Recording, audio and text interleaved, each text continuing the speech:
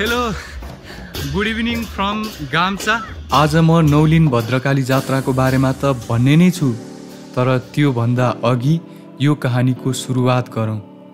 She is my friend Manju Manju Shrestha अनि मन्जुको घर गाम्चामा छ। गाम्चा बुढा नीलकण्ठ नगरपालिका तेह्रमा पर्दछ।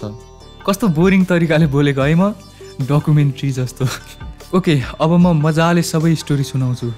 गाम्चाको यो भाग जहाँ खनिएको छ अनि खार्ने सम्याउने काम हुँदैछ यहाँ क्रिकेट स्टेडियम बन्दैछ भन्ने सुनेको छु। मलाई पनि यसको बारेमा धेरै थाहा भएन। त्यसपछि गाम्चाको यो माथिल्लो पूर्वी भाग जहाँ घुम्न जानको लागि राम्रो ठाउँ छ यसको बारेमा त म भिडियोको अन्त्यमा भन्ने नै छु। अहिले चाहिँ गाम्चाकै कुरा गरौँ। गाम्चामा मेरो साथी लगायत धेरै नेवार समुदायको बसोबास छ। अब जहाँ नेवार समुदाय छ त्यहाँ नेवारी संस्कृति झल्किने भइहाल्यो। त्यसैले बुद्ध पूर्णिमाको दुई दिन अघिदेखि बुद्ध पूर्णिमाको तिन दिन पछिसम्म यहाँ एउटा जात्रा मनाइन्छ नौलिन भद्रकाली जात्रा। यही जात्राको पाँचौँ दिन जुन दिन जात्रा सकिने बेला थियो त्यही दिन मलाई मन्जुले जात्रा हेर्न बोलाइन् अनि म मेरो कुम्लो कुटुरो बोकेर गाम्चा आएँ।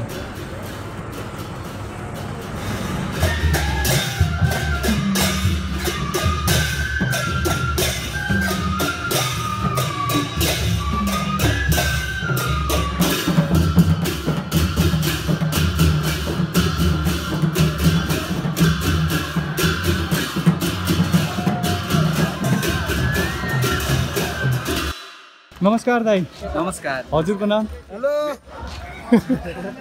मेरो नाम चाहिँ राम के एसी। यो चाहिँ नौलिङ्गेश्वरी भद्रकालीको जात्रा हो। यसलाई यो नौलिङ्गेश्वरी जो भद्रकाली छ यसलाई नौलिन भद्रकाली पनि भनिन्छ। र नेवारीमा चाहिँ अजिमा भन्छ। अजिमा। अजिमा जात्रा हजुर। यो चाहिँ यहाँको लोकल जात्रा हो। आज यहाँको चाहिँ अन्तिम दिन हो। टुपेकको चाहिँ भोलि छ अन्तिम। ए यसरी पालै पालो पाले गर्नुहुन्छ। पालो त्यस्तै नौलिन भद्रकाली मन्दिर हाम्रो नेपालकै प्राचीन भद्रकाली मन्दिरहरूको मुख्य मन्दिर हो। मुख्य मन्दिर भए तापनि यो धेरै प्रचारमा छैन। यही मुख्य भद्रकाली मन्दिरको मुख्य भद्रकालीको जात्रा हो यो। त्यही भएर यो जात्राको विशेष महत्त्व छ।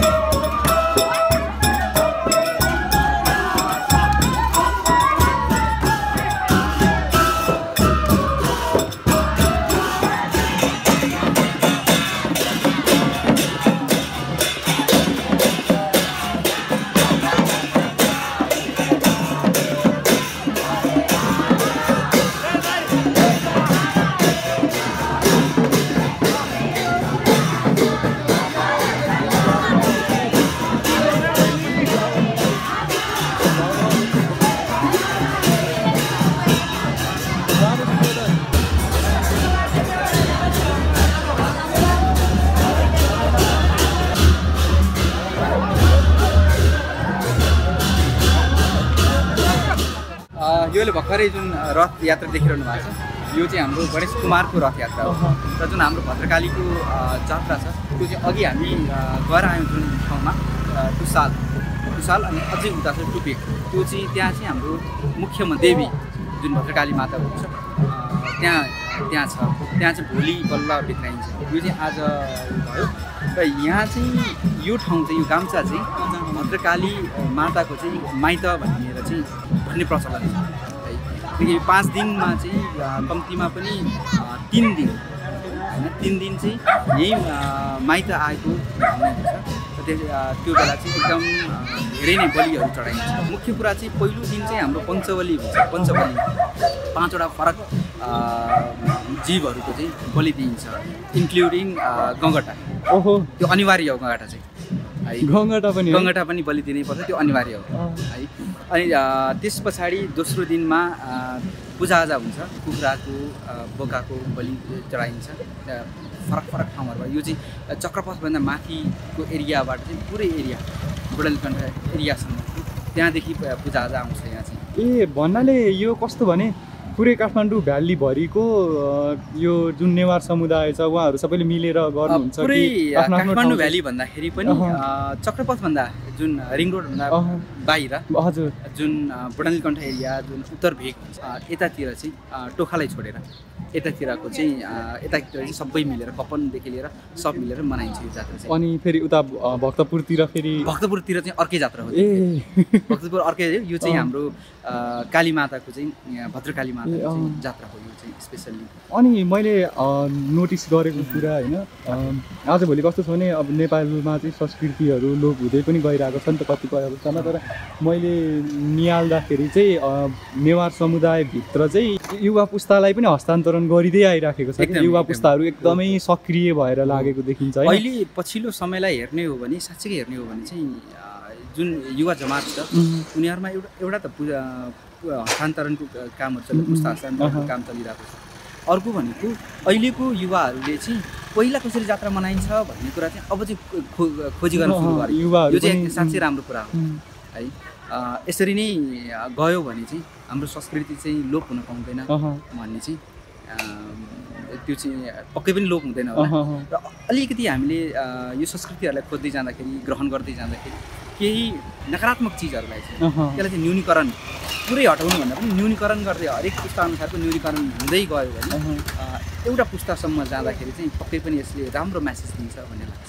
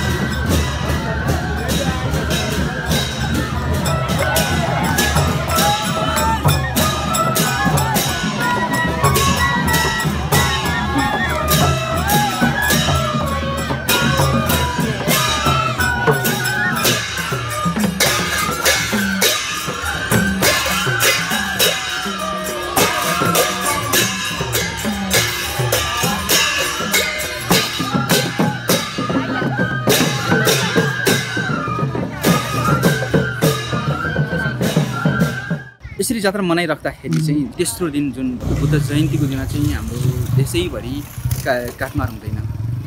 तर यो मन्दिरमा चाहिँ हाम्रो ठुलो पूजा हुन्छ।